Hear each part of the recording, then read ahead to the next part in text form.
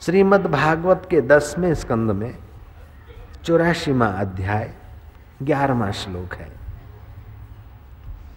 उसमें लिखा है कि केवल जलमय तीर्थ ही तीर्थ नहीं है।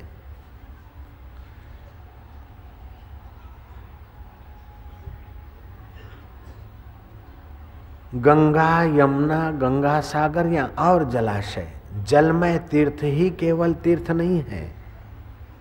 देखो अपना हिंदू धर्म कितना सत्य प्रिय है। तीर्थों की प्रशंसा भी करता है और ये भी कहता है कि वो के, केवल वो तीर्थ ही तीर्थ नहीं है। ध्यान देना सच्चाई का। जहाँ श्री कृष्ण की महिमा गाता है भागवत या महाभारत वहाँ कृष्ण के भाई बलराम पियक्कड़ थे ये बात भी बताने से चुकता नहीं है। जयराम जी की जहाँ कृष्ण के गुणगान गाता है शास्त्र, वहीं कृष्ण के बेटे बदमाश थे। ये ये बयान भी बताने में इनकार नहीं करता और देर नहीं करता है। कितने तटस्थ ढंग से हमारे शास्त्र बने कितनी सत्य प्रियता है हमारे शास्त्रों में।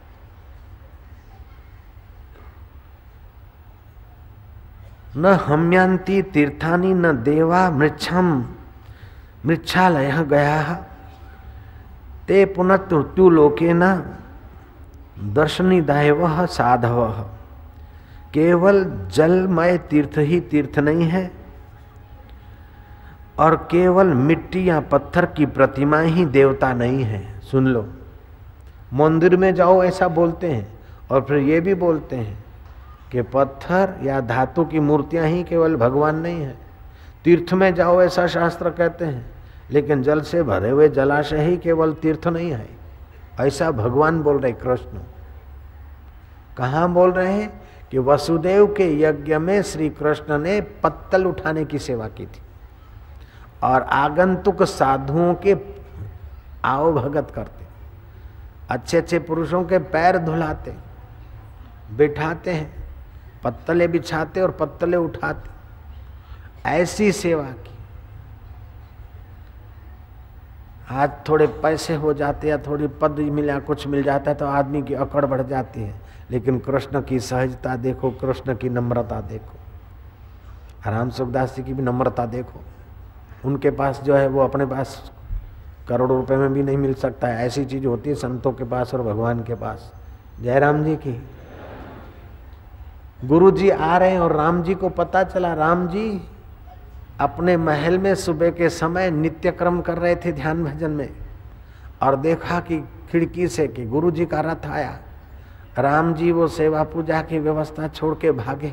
गुरु जी रथ के से पैर नीचे उतारे, उसके पहले राम जी ने कंधा दिया है। प्रभु, धरती पे चरण ने यहाँ पैर रखकर फिर पधारो नीचे। रामायण में आती है बात। यद्यपि सेवक दर स्वामी आगमनु, मंगल मूल अमंगल दमन।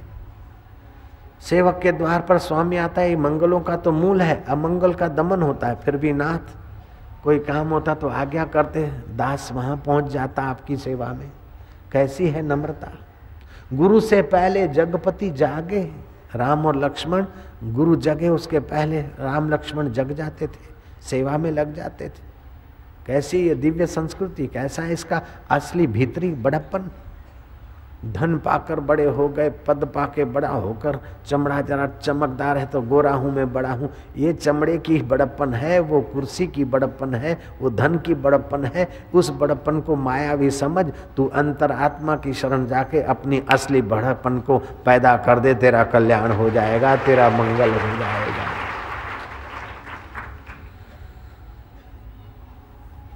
भगवान कहते हैं कि केवल ये कहाँ कहते हैं कि जब कोई संत आए, उनका स्वागत कर रहे थे तो कई लोग तो स्वागत स्वीकार करके बैठे पत्तल पे।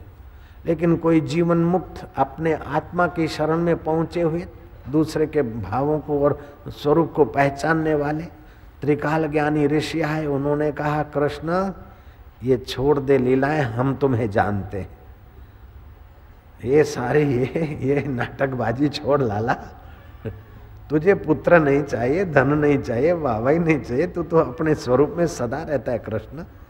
अब ये पैर धोने की और आओ भगत करने की, ये भक्ति भाव दिखाने की लीला छोड़ो।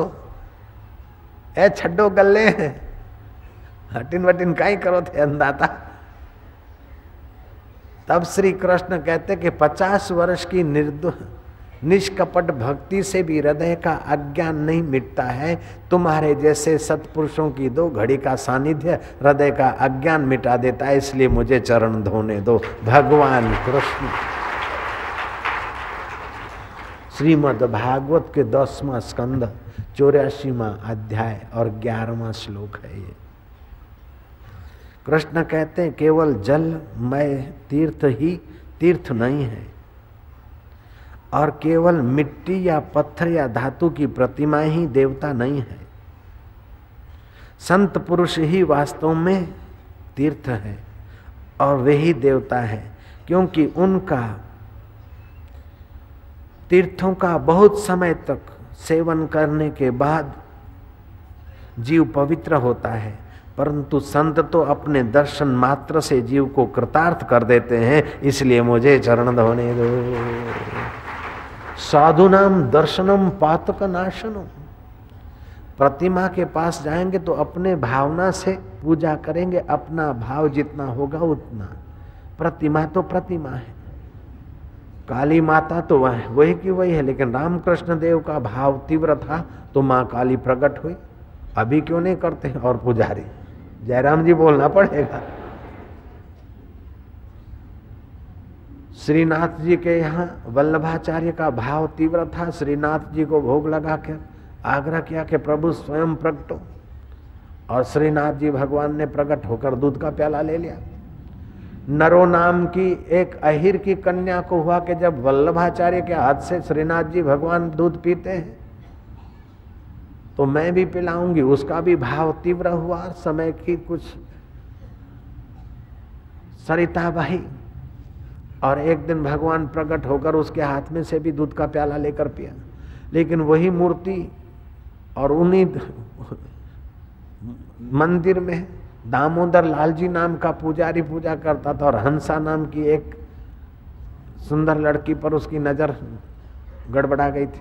वो लवर लवरी बन गए थे और फिर भगवान के मुखमंडल का हीरा चोरी भी हो गया। अब भगवान की मूर्ति तो वही की वही। और पुजारी दिन रात बैठा है। और भगवान के मुखमंडल का हीरा चोरी हो गया और हंसा नाम की दर्शन करने आने वाली लड़की को लेके वो भाग गया। अब भगवान तो वही का वही है कि किसी के हाथ से तो दूध का प्याला पी लेते हैं और दूसरा हीरा उठा के भाग जाता है तो चुप है। भगवान तो अकर्ता भोगता है, तुम्हारा जैसा भाव और कर्म होता है, ऐसी प्रकृति में व्यवस्था हो जाती है। तो श्री कृष्ण कहते हैं कि ये मूर्ति और जलाशय चीर काल का सेवन करने से प्राणी को अंतकरण शुद्ध करते, लेकिन अंतकरण का अज्ञान नहीं मिटाते।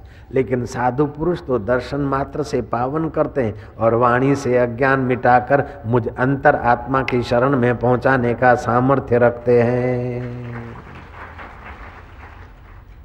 श्री कृष्ण कहते हैं, जो हार्ड मास के शरीर को मैं मानता है और शरीर से पैदा हुए पुत्र परिवार को मेरा मानता है। जल से भरे हुए जलाशय को तीर्थ मानता है। धातु और पत्थर आदि से बनी हुई मूर्ति को भगवान मानता है। लेकिन महापुरुष में भगवत बुद्धि नहीं करता है। वो साक्षात गोखर, वो साक्षात वैशाखी नंदन है।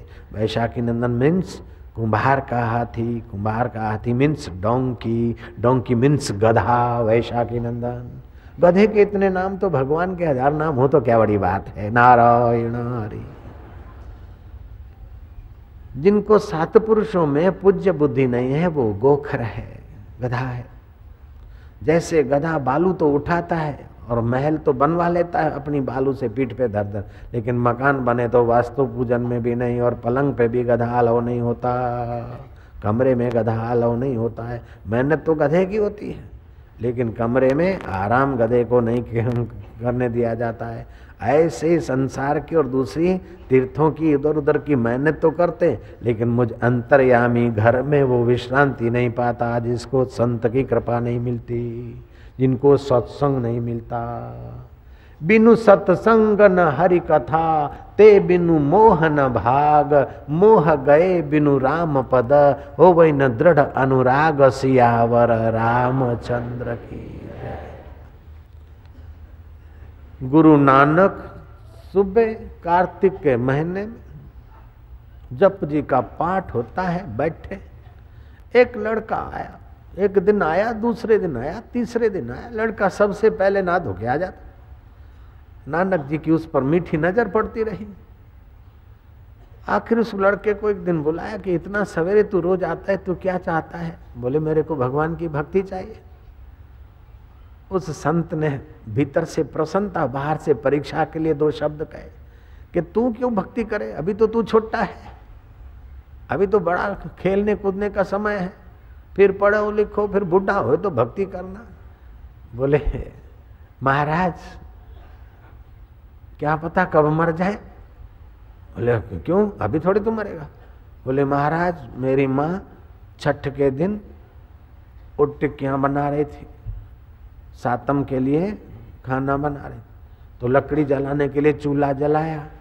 तो चूल्हे में बड़ी बड़ी लकड़ी थी तो उसको आग नहीं पकड़ रही थी। फिर मेरी माँ ने छोटी लकड़ियाँ मंगवाई और छोटी लकड़ियाँ डाली तो उसको आग जल्दी पकड़ गई। तो हो सकता है कि हमको भी मृत्यु की आग जल्दी पकड़ ले, इसलिए अभी से भजन करना चाहिए नहीं।